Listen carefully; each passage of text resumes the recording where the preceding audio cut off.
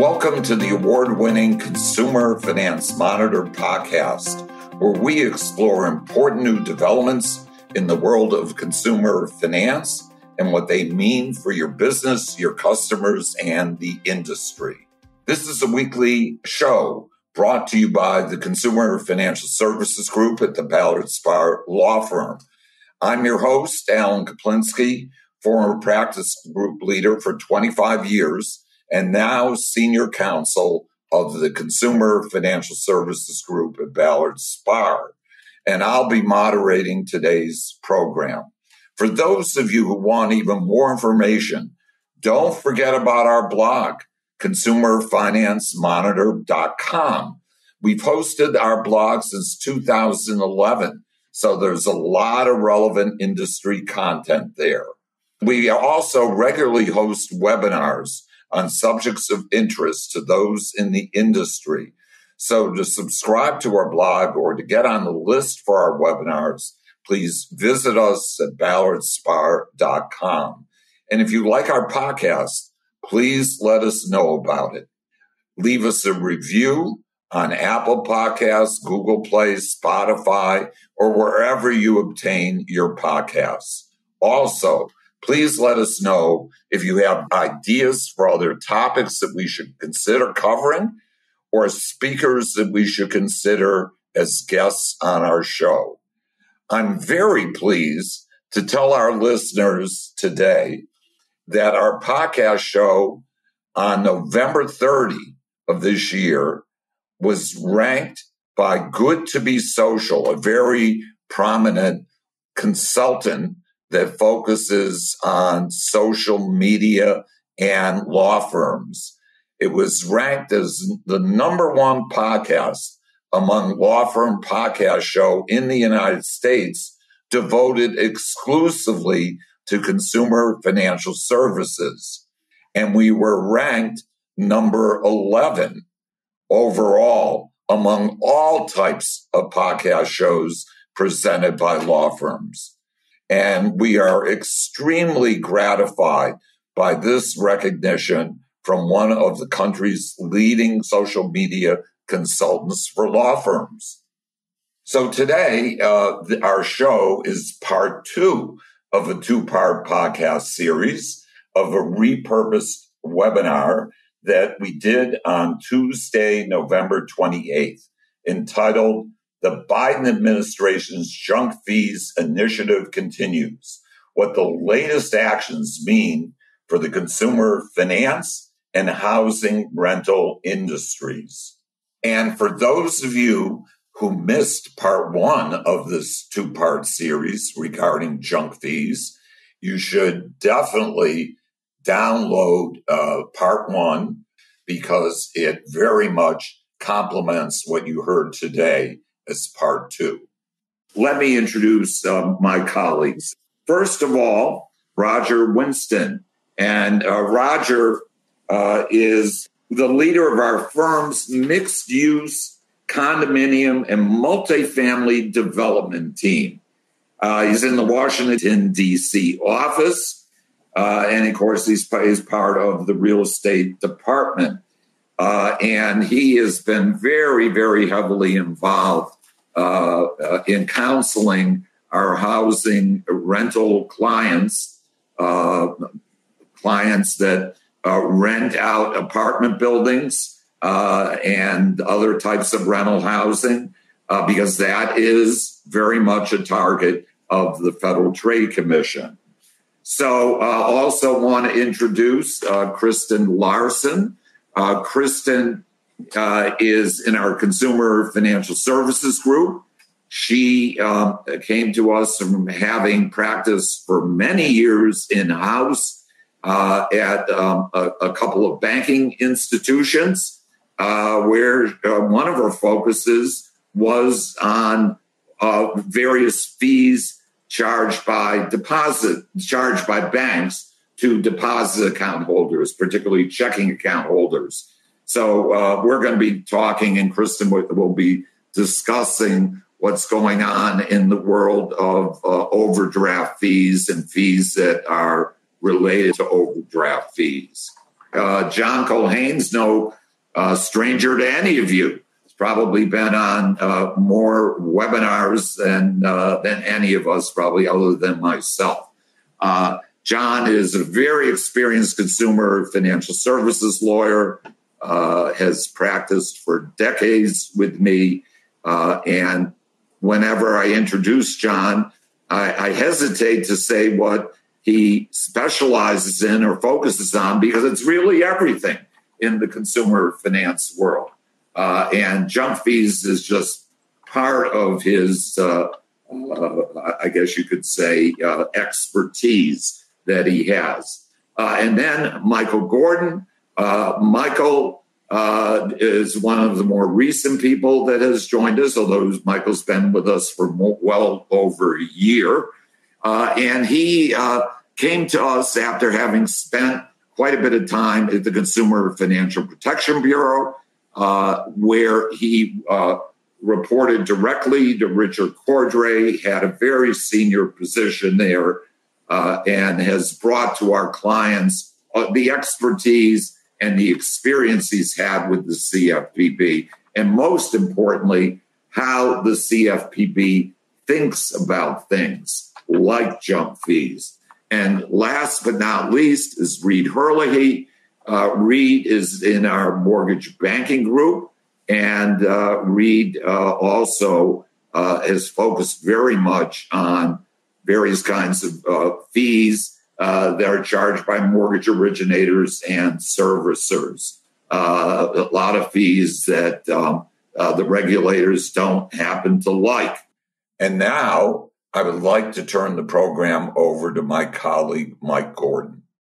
Thank you. Um, uh, I wanted to very briefly touch on an issuance from the CFPB that relates to fees. It's a slightly different kind of animal than some of the other things we've seen, but I wanted to just briefly mention it. The good news is if you're not a large bank or credit union supervised by the CFPB, then legally, technically, this one doesn't cover you. Um, the bad news is it, it represents part of a theme here about fees that the Bureau is very uh, focused on and will be scrutinizing for all players in the consumer finance industry. Um, and, and so I think there are themes here that, that are, are relevant for everybody. Um, what what this what makes this one different is that there is a specific statutory hook here in the Dodd Frank Act that the Bureau is interpreting in this advisory opinion. And that statutory hook uh, is up on the screen and talks about consumers requesting um, information about their accounts and the requirement that that uh, large uh, depositories respond to those requests. What's what's a little unusual uh, is that there is no regulation for this, and the bureau didn't propose one. Instead, they did an advisory opinion here, which, as we know, could be reversed at the drop of a hat if if the leadership of the bureau changes.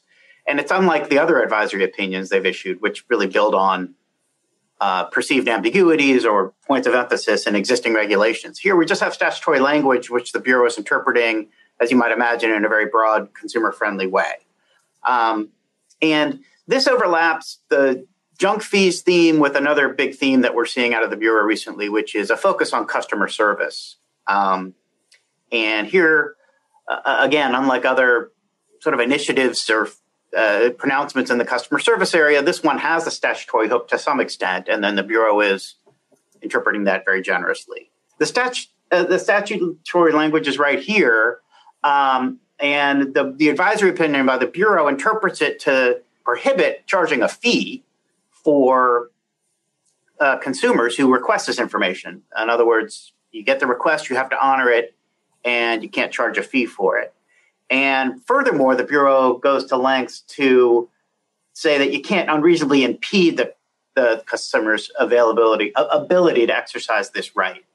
Um, they provide a little more gloss on what that means to them, but um, it uh, you know it basically boils down to having to provide the the, the information uh, promptly um, and it includes examples of what sound like kind of customer service issues that could amount to a, a, an, impediment that the bureau uh, would object to. Um, so, for example, making them wait excessively long wait times to make the request, uh, making uh, it necessary to make the request more than once, uh, having to deal with a chatbot that does not, um, you know, quickly and efficiently answer the question asked and provide the information, um, or you know, pawning the request off and directing the consumer to a third party. These are examples that the bureau has outlined of things that might be, you know, in, impediments that uh, would be unreasonable.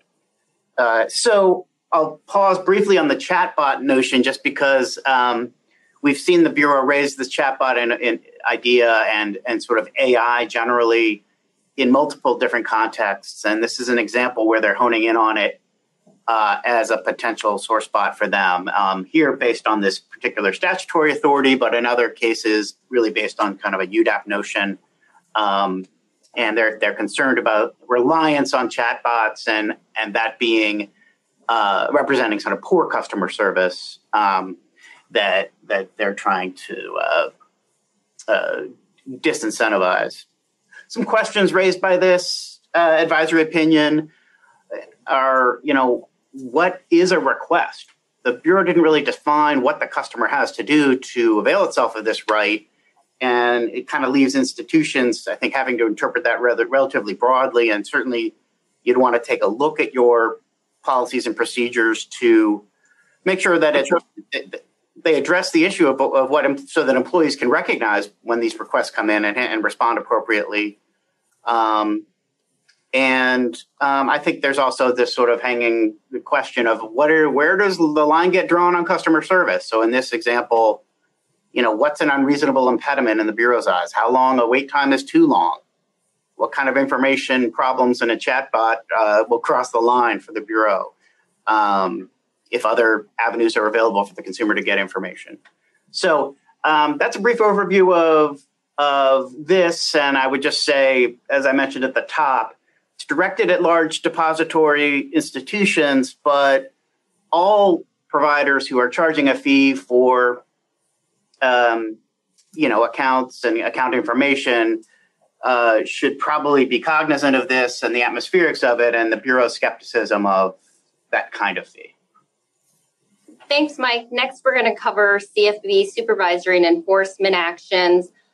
Um, first, we're going to talk a little bit about the CFPB spotlight on NSF fees. Um, as you know, since late 21, the CFPB has been closely monitoring everyone's practices for overdraft and NSF fees. They've even resorted to what we like to call public shaming, where they post everyone's NSF and fee practices, trying to influence financial institutions in reducing the amount of NSF and overdraft fees um, that they charge. And even though we've seen the trends of fees being eliminated, fees going down. Um, as discussed earlier, this is something that still is on their rulemaking agenda, um, even though it doesn't really seem like there's a need in light of the fact that a lot of institutions have removed the fees.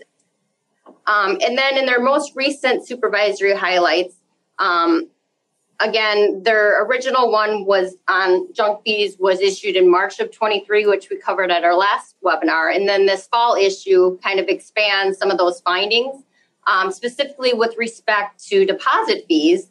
Um, examiners found UDAPs related to multiple NSF fees for the same transactions. And, and for this, they were going after both core processors and supervised institutions like because the issue is a lot of you are dependent on core processors and if the core is not making a change it's very tough for you to make a change on how you assess the fee when that's outside of your control. Um, the continued attacks on authorized positive settle negative fees um, that's in those fees they say are unanticipated and also a, a udap because the customer can't avoid them. Um, now, again, we believe that these fees can be avoided by maintaining a sufficient balance and tracking your purchases and withdrawals. Um, and then paper statement fees and return mail fees for paper statements that weren't actually delivered. Like sometimes you put someone in your system as it's a bad address, um, but then yet you're still charging them for those state statements that you didn't mail to the bad address. Um, and also, they had concerns about return deposit fees, which they've also previously addressed. Um, and they also, in their guidance, I just cite these here for background. They cited some of their prior guidance that they did on authorized positive neg- settle negative overdraft fees and their circular, their bulletin on unfair return deposit item fees, and their advisory opinions on not liking when debt collectors charge a fee to make a payment. And then finally, I wanted, before I turn it over to John, I wanted to cover the guidance on reopening closed deposit accounts and some recent litigation. Now, I know we covered it briefly at the prior webinar, but I just wanted to remind people that this is still on their radar. Um, and it looks like it's also transitioned over to the plaintiff's, plaintiff's bar as well. Again, they think it's an unfair practice if you reopen an account that was previously co- closed to accept either debits or deposits. Um, the national bank that recently finalized a settlement for $4.9 million class action. Um, the allegation was that they reopened their accounts without their consumers' authorizations and transactions posted. And essentially, what the CFPB is concerned about here is that there's the consumers could be harmed by the reopening of accounts. That there, the fees that could be charged after an account is reopened, or transactions or fraud that could happen when the consumer doesn't realize their account is reopened. And now I'll turn it over to John Culhane to talk a little bit about the auto servicing supervisory observation. Thanks, Kristen. Um, I'm going to briefly run through uh, auto servicing, um, remittance transfers, and uh, payment processing, and then one um, uh, item in the supervisory highlights identified as a remedial action um, that that also is uh, auto related, but it's not entirely clear how it involves junk fees. So most of the auto servicing um, observations in the supervisory highlights uh, focus on the servicing related to add-on products, and uh, in particular, uh, the failure to provide appropriate refunds when uh, financing is terminated early. And the CFPB uh, focused on two uh, bad actions here. Uh, one, uh, not actually uh, acting to make sure that you, the servicer, get the money in the first place, which seems to be more of a vendor management issue than a, a, junk fee issue, but it's in here as junk fees and then making a mistake in calculating the appropriate amount of the product refund uh, when the loan or credit is terminated early. Early, um, and again here relying on service providers, which would seem to be a vendor management issue, uh, also has been is again swept in under the, the junk fee category. So this isn't really the assessment of a fee on a service. It's um, arguably charging more for a product or service or charging for a product or service that isn't actually being delivered. But as I mentioned at, the outset, that's um, clearly now within the ambit of the junk fee category.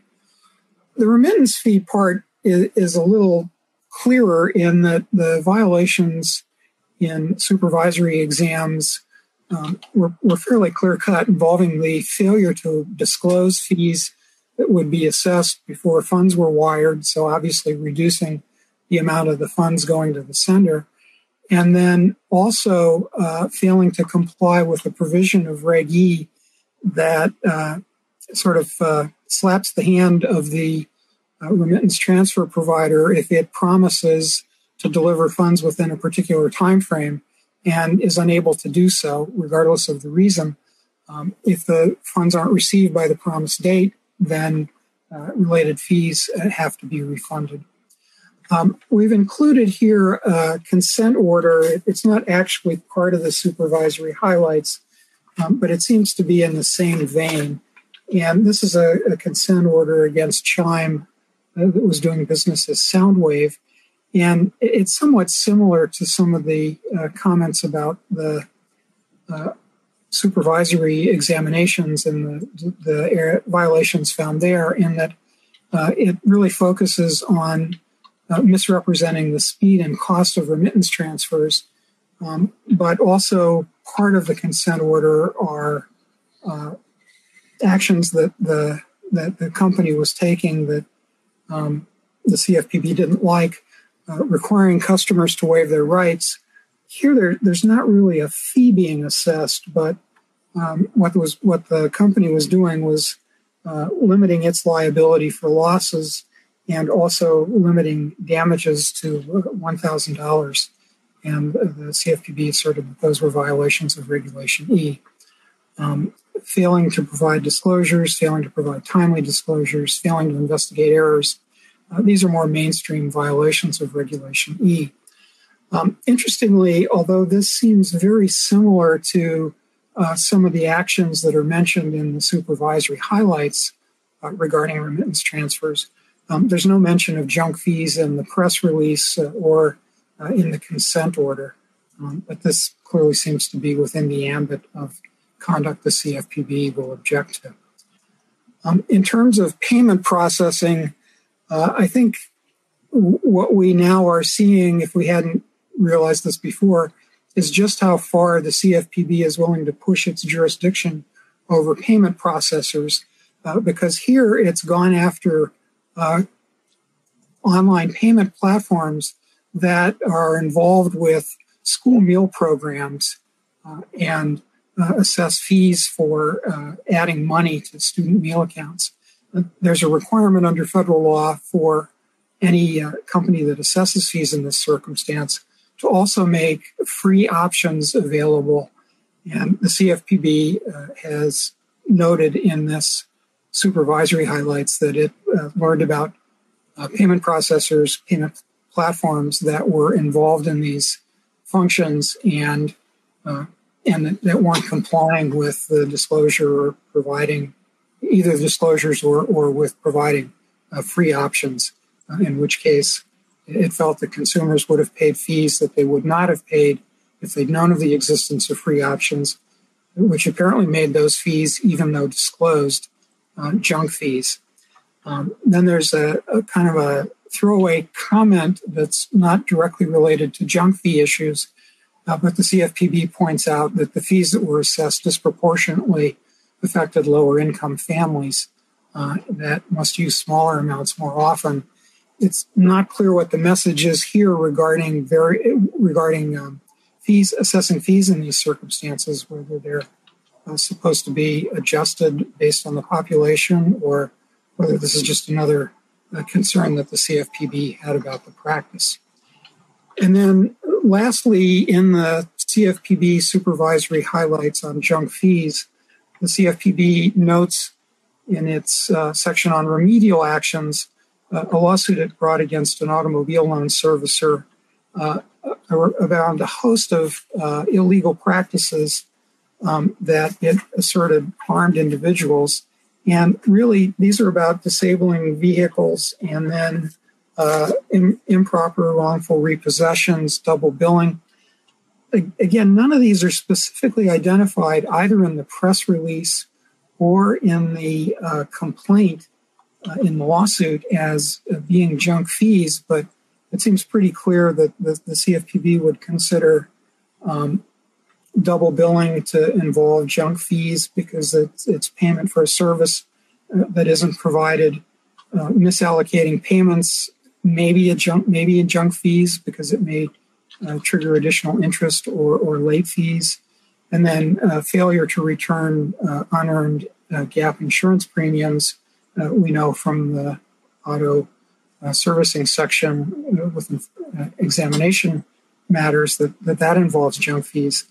Um, it, it's unclear how disabling vehicles or activating late payment warning tones would be would would clearly be tied to junk fees, although perhaps the, the warning tone uh, might be encouraging a payment that's not due or, or suggesting that a late fee is going to be assessed when that's not the case. Um, but we have the CFPB pushing the envelope here on uh, what exactly is covered by its junk fee rhetoric, uh, both fees, uh, its fees in and of themselves, and then uh, conduct or or the failure to deliver to deliver to properly deliver goods and services. Um, let me turn it over to Reed to talk about uh, some of the enforcement actions in this area. Yeah, Reed? thanks, John. Uh, so I'm going to cover some of the more recent enforcement activity from the Bureau involving these sort of junk fee issues, and along the lines of what John just described. These are, you know, I, I use, use that term pretty liberally. These really cover a, a wide range of costs that you wouldn't necessarily consider a, a typical fee, or, um, you know, it really can seems to constitute anything other than principal on the loan or you know, interest paid on that principal. Um, and but here we see a lot of interesting angles for you know, alleged improper conduct. Um, so first, uh, from August of this year, uh, the Bureau filed suit alleging UDAP violations by a brick and mortar high cost installment lender. Um, and they allege company wide practices from underwriting, sales, and servicing activity that were really designed to channel financially vulnerable and struggling borrowers into a cycle of fee heavy refinances. Um, and this included underwriting practices that were allegedly designed to enable the origination of loans to borrowers who were likely to struggle with payments uh, and that would you know have to refinance multiple times so they could collect those those fees. Uh, according to the complaint, sort of by way of background, the company's installment loans had a, a median annual interest rate of 92%. Uh, the median loan principal amount was $585. Uh, the, the complaint stated that nearly 10% of the company's borrowers uh, refinance their loans with the company 12 times or more. Um, but the, the refinance activities for that, roughly 10% of the company's borrowers uh, produced 40% of its net revenue. Uh, the next example is more, you know, along the lines of what we typically think of as a fee issue, but uh, we, we saw in July this year multiple consent orders against the national bank that included um, one of the consent orders pertaining to their NSF fee practices and we all know they've signaled you know for a long time that NSE, NSF fees were were, were a focus. Uh, the complaint alleged uh, you know UDAP violations um, for the practice of charging multiple NSF fees on the same transaction, either you know whether they're checks or ACH payments, and they were charged first when the payment was initially submitted and declined, uh, and then again on the resubmitted payment or the you know, the representing transaction. Uh, the bureau stated that the practice was unfair and, and exposed some pretty or imposed a pretty extensive remediation uh, against the bank. And the third example here was from May. Uh, the Bureau entered into a consent order with a, a, personal loan installment lender alleging UDAP violations related to uh, certain add on insurance and identity theft products. Uh, this, the, the central conduct at issue involved misleading into misleading consumers into thinking they were required or or couldn't get out of purchasing add-on products at the time of origination, or sort of coercing them to do so. Um, and, and, to further assuage the borrowers, the company told them they could you know, simply cancel the add-on products within a certain time frame after origination at no cost at all. And the bureau you know, indicated through the through the complaint that that meant you know they were conveying to the borrowers they would be returned to the financial position that they would have been in had the product never been added to the loan. Um, however, for the loans eligible for a full refund while the lender refunded the premiums paid. Um, the full interest on those amounts um, were not refunded that would be needed to return the borrowers to the same financial position. Uh, and that failure to refund the amount of interest either involved miscalculations of the interest amount or you know, no attempt to refund the interest at all, depending on the product. Um, according to the order, this was both deceptive and unfair and also uh, abusive. And the abusive theory was that it interfered with the consumer's ability to understand uh, that add on products were optional and, and that the, the lender you know, charged non refundable interest during the purported uh, full refund period. And so those are, the, those are the examples of enforcement. And I'm going to quickly move on to um, some, some state activity. And we're also at the point where you can click on the on the slide here to confirm you're still uh, attending. The state junk fees laws. Uh, I want to start with a law in California. Uh, so Governor Newsom uh, signed into law a statutory amendment addressing junk fees, uh, focused on what they call the practice of, of uh, drip pricing, so advertising a price that's less than the, the actual price that they're going to pay. Um, it, it's similar to what you know the FTC has proposed, or, or one aspect of the FTC's proposal, but um, thankfully here in California, they did give some some you know thoughtful time to addressing and enacting some pretty broad exemption provisions uh, that should exclude a large range of uh, regulated consumer financial transactions. Um, so this this goes into effect on July 1, 2024. Uh, similar to that you know component of the FTC proposed rule, the law prohibits advertising, displaying, or advertising a price for a good or service that doesn't include all mandatory fees or charges other than taxes or delivery charges.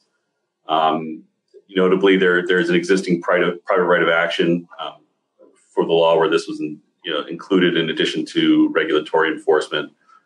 And again, the good part here is thankfully we have a, a wide range of exemptions for regulated financial service providers. Um, so, first, the exemption provision defines the term financial entity by referencing a different provision from the California Consumer Financial Protection Law. Um, so, a financial entity would include depository institutions as well as a range of state licensed entities, uh, escrow agents, finance lender licensees, regulated uh, residential mortgage lender licensees, uh, broker dealers, et cetera.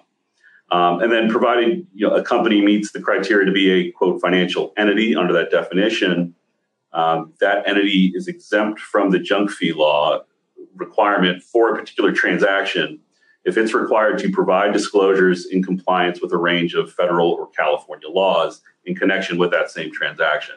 And so those disclosure requirements include the Truth in Savings Act, EFTA and Reg E, uh, Section 19 of the Federal Reserve Act, TILA and Reg Z, RESPA and Reg X, uh, HOEPA, the, the, California Finance Lenders Law, uh, the California Residential Mortgage Lending Act, or the California Real Estate Law.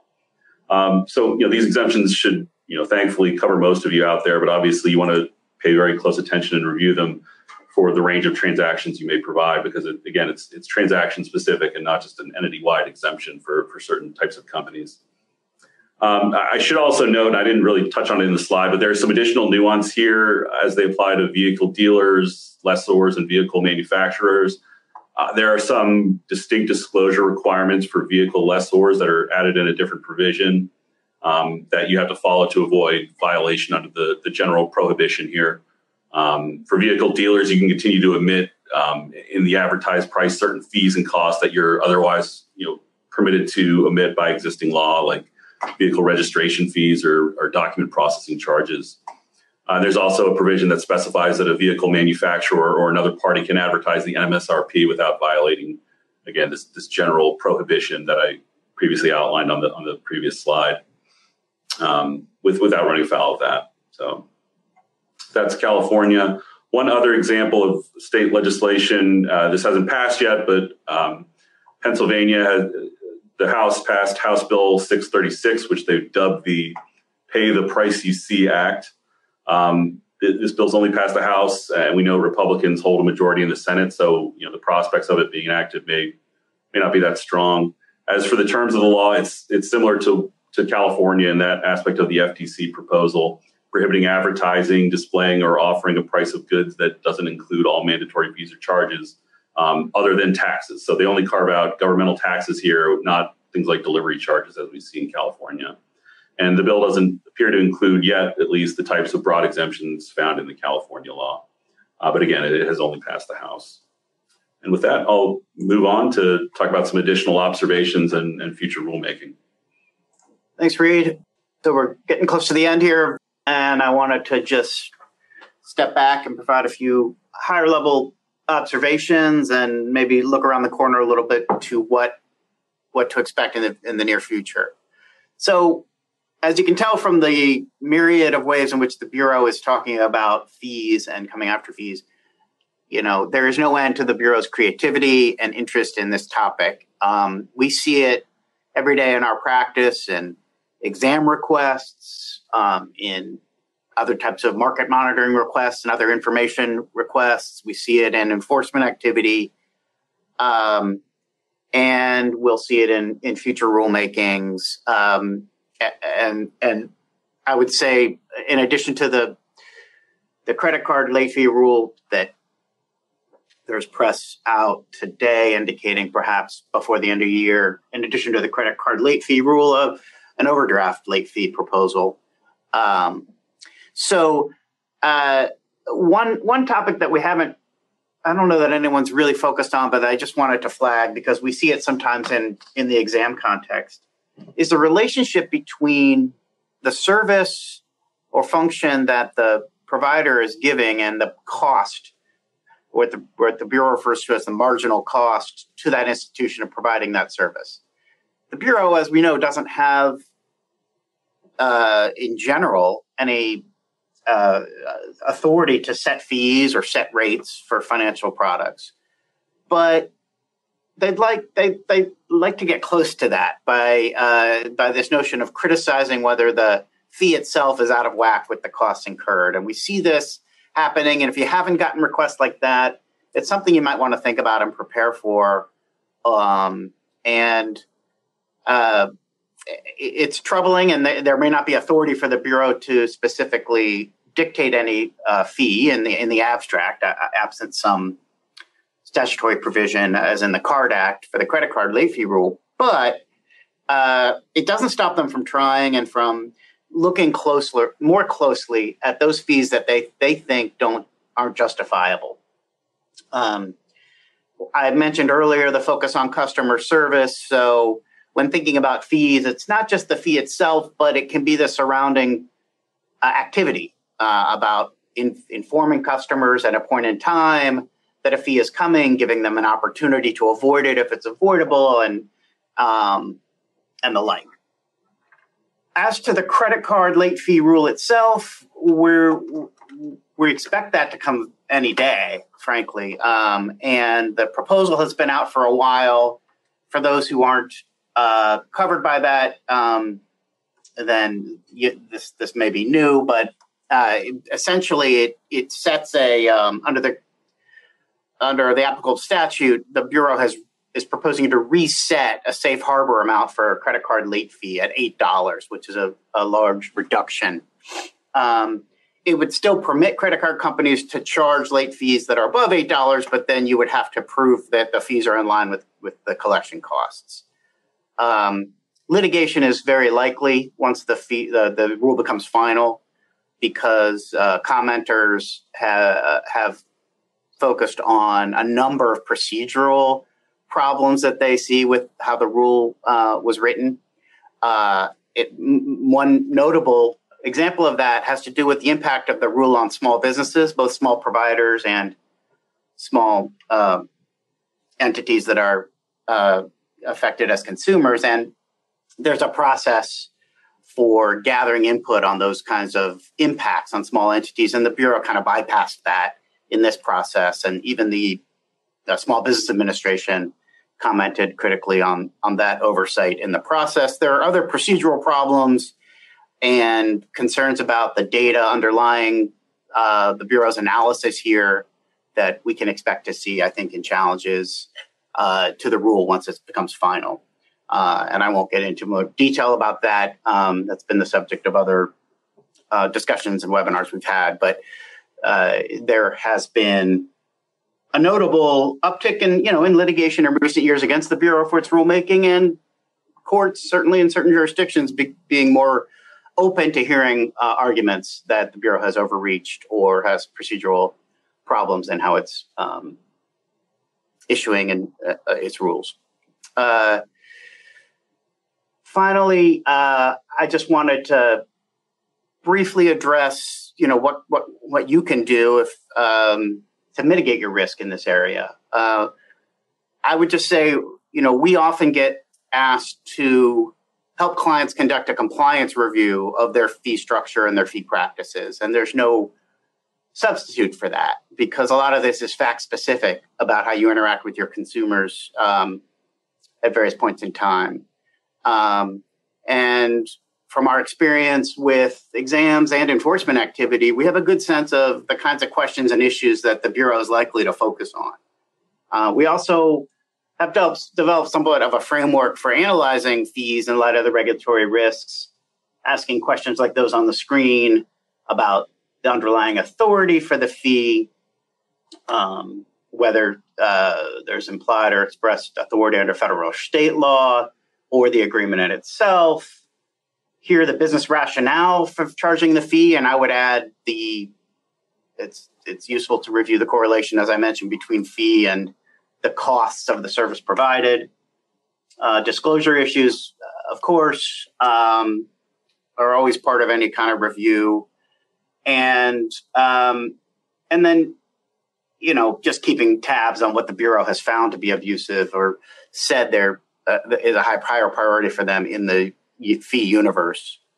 Um, you know, examine your customer service models with a fresh set of eyes. Um, emphasize transparency when you can with respect to fees, not just the amount of fee, but the purpose for the fee and the timing of when it's going to be imposed. Um, these are all kind of helpful hints that go into, uh, you know, a, sound review for compliance risk of, of a fee structure. So with that, um, we have finished our formal presentation. I'll turn it back to Alan to close. Okay. Well, thank you, uh, Mike. And I want to thank my other colleagues, Reid Herlihy, uh, John Culhane, Kristen Larson, and Roger Winston. Uh, let me just mention a couple, two things in closing that uh, I'm not sure we really got into during the program, and that is um, the relationship to state law. the FTC has said that it only this rule, if and when it becomes final, will only preempt state law to the extent that it state law is inconsistent with the final FTC rule. Um, and inconsistency basically means that it's impossible to comply both with the FTC rule and state law. Uh, that is a very narrow uh, test uh, for determining if there is any preemption. The likelihood is that there won't be preemption. Uh, and that other state laws that get passed or that exist already, uh, you may have to comply with them. Uh, and they may be old state laws, not necessarily Pennsylvania or California that Mike talked about, uh, but uh, there could be uh, laws on the books uh, from long ago uh, that deal with the same subject matter that uh, the federal regulators are now very focused upon. And one other final thing, and it occurred to me to mention this when I saw the uh, slide uh, that Reid presented dealing with the new California law, there is an exemption in there for transactions that are covered under other federal statutes. The FTC has indicated that it is willing, they would, they would like comments on that subject, on whether there should be a, some kind of transactional exemption uh, which if uh, they were to agree to that, uh, then um, uh, you may not have to worry about, depending upon your situation, uh, you may not be covered by the final FTC rule. But I certainly wouldn't count on it right now.